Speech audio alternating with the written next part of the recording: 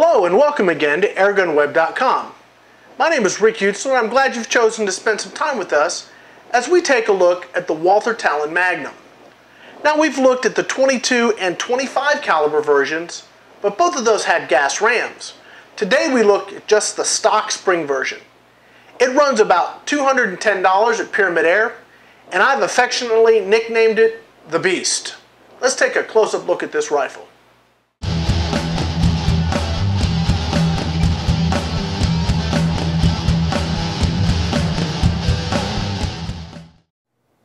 The Walther Talon Magnum is simply a beast of an airgun. It's big, heavy, and made of composite and steel. The stock is technically a right-handed stock with a slight raised cheek piece, but it should be equally usable for you lefties out there. It is an upgrade from my original Falcon Hunter and is designed to absorb recoil better. The original stock was prone to crack from the recoil of the standard spring. Gas ram models had less of an issue. The rifle is equipped with front and rear fiber optic sights, with the rear sight being fully microclick adjustable. The rifle ships as a combo with a Walther 3-9 by 32 scope. The scope was not up to the task, so I simply replaced it with my Leapers 3-9 by 40 AO IR scope. The rail on the Walther has an integrated scope stop and will take either an 11mm or Weaver style mount which is very cool. The scope stop is critical if you are using standard 11mm mounts. The trigger is the upgraded Quattro trigger and is a major improvement over the original trigger.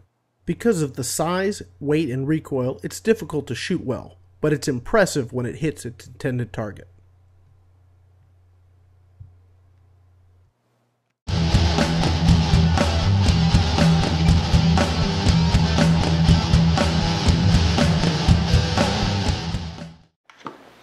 Let's talk a little bit about performance. The Walther Talon Magnum is yet another hypervelocity rifle. Now, this class of rifle generally puts velocity over accuracy and boasts high numbers like 1400 feet per second with lightweight lead-free pellets and 1200 feet per second with standard lead pellets. Now, we tested our Talon's hypervelocity with the H&N Field Target Trophy green pellets, which weigh in at about 5.56 grain.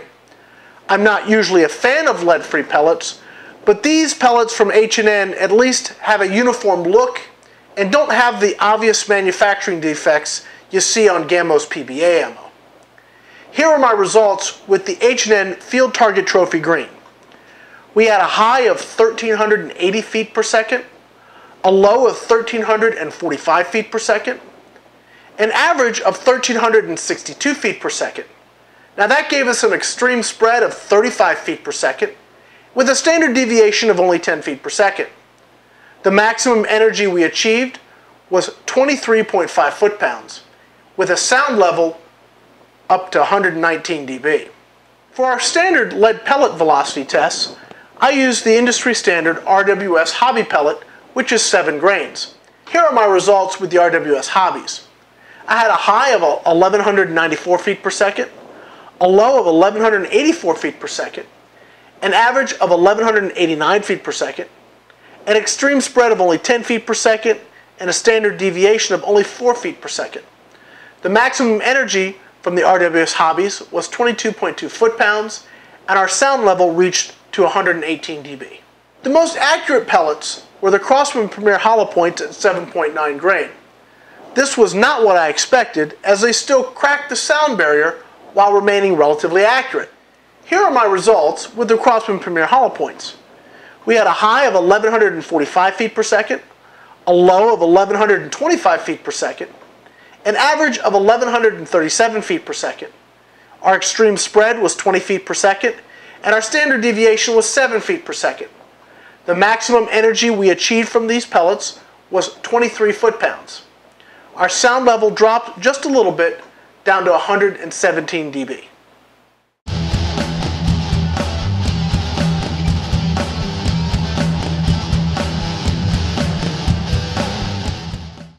Let's go ahead and look at cocking, loading, shooting, and accuracy. The Walther Talon Magnum is a standard break barrel rifle. One cock compresses the spring and sets the trigger, and also engages the automatic safety. You load the pellet in the breech, return the barrel, sight the gun, set the safety to the fire position, and gently squeeze the trigger to fire the rifle. The whole process looks like this.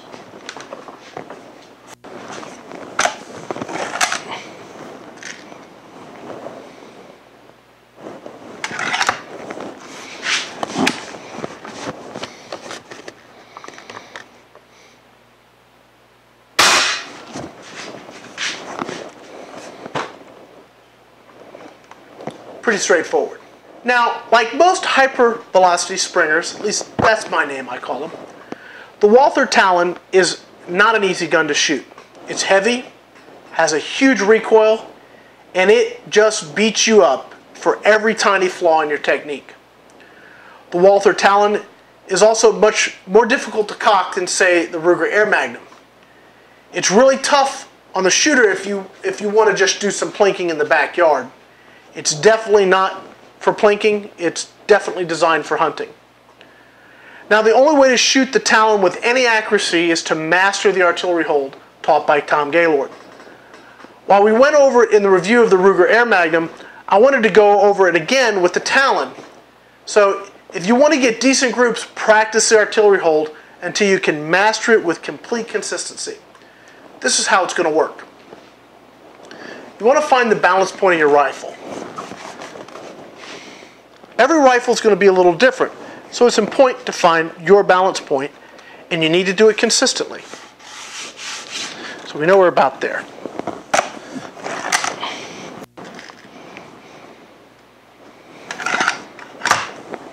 Okay, now you bring the rifle to your shoulder. Just relax.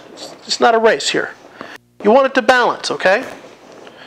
You want to grab the rifle and don't hold it too tight. You're not going to control the recoil. Don't try. You just want it to rest there. Don't grab it. Don't grab it up real far forward. Find that balance point and just relax. Now when I'm using a scope, I just ease into the shot. It's going to bounce around for the first little bit. That's okay. Don't try and force the shot. Just relax.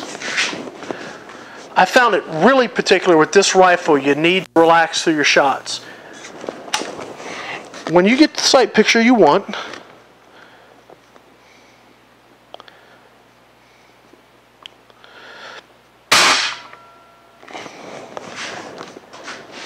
I personally take a breath and I just watch my sight picture adjust as I breathe. And when I see things settle down, and I get a more consistent sight picture with less movement, I know I'm about ready to take my shot. So what I'll do is I'll take a breath, and right at the top of my breath is when I squeeze the trigger, and I hold my breath through the entire shot process. This allows the gun to do its recoiling, do its moving around, while I stay as still as possible. And I make sure to let it finish. That's called follow through, and it's very, very important. Now, you need to let you need to go ahead and hold your position all the way through the shot, and that's going to help tighten those groups up and allow the rifle to finish all of its moving around before you go look and see the results of your shot. The artillery hold works for about 99% of all spring guns. The more you practice, the better your shot groups will get. Now I've nicknamed the Walther Talon the Beast because it's just very hard to cock, manage, and shoot. It has potential with a lot of practice, but remember, again, the more violent the recoil, the more important it is to have consistent hold, trigger control, and follow through. Practice is going to be your key to success. Let's take a look at these shot groups. The first group is at 25 yards. The second group is at 50 yards.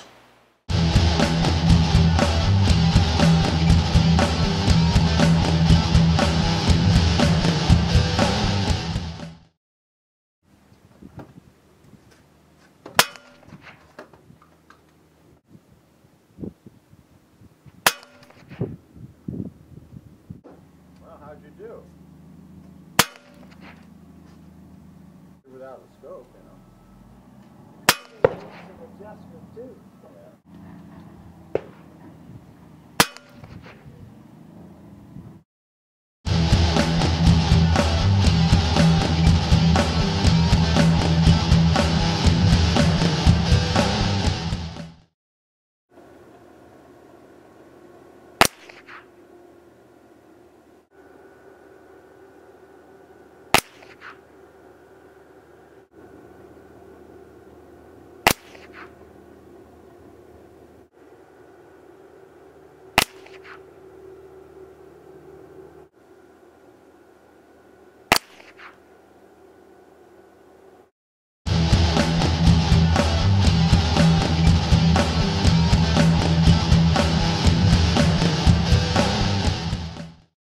Go ahead and look at the scorecard for the Walther Talon Magnum, and we'll start with the cons for this rifle. This is a very heavy gun that makes you work for absolutely everything.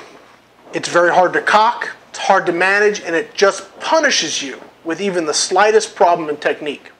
The included optics are not even worth putting on the gun. So you need to add another $80 or so to get a decent scope and a nice set of rings. And I would go ahead and upgrade to the Weaver rings because it's going to hold that scope uh, a little steadier. Now this will bring your total from that 210-ish all the way up to like $300. Let's talk about the pros of this rifle. Even though it's completely miserable to shoot, so is a 30-06, but people love to shoot them for their sheer power. The Walther Talon is truly a beast of an airgun, and although it makes you work for any measure of success, when everything comes together, it's really awesome. Now, one major advantage of this rifle is the ability to swap out that spring for a gas ram. Now, the gas ram upgrade transforms the Walther Magnum into something entirely new. That, that's something to consider if you have the money up front for the upgrade. So let's go ahead and just wrap this up. The Walther Talon Magnum in 177 is an awesomely powerful rifle. If, and this is a big if, if you can learn to tame it with a consistent, proper technique, it can also be accurate. At around $210 from Pyramyd Air, the price is okay, but you're going to need to add a new scope and a new set of rings. Again, I'd use the Weaver rings and upgrade from the standard uh, 11 millimeter dovetail. They'll give you more stability. So now you're looking at a price tag of 290 and $300. Personally, I think the Talon would be an awesome rifle with the nitro piston upgrade. Now I have an older Falcon Hunter in 22. It has the gas ram and it's still going strong. I wish I could have this upgraded stock and trigger in my old Falcon Hunter. If you're considering the Talon, save a little bit more and just get the nitro piston up front. You won't be disappointed.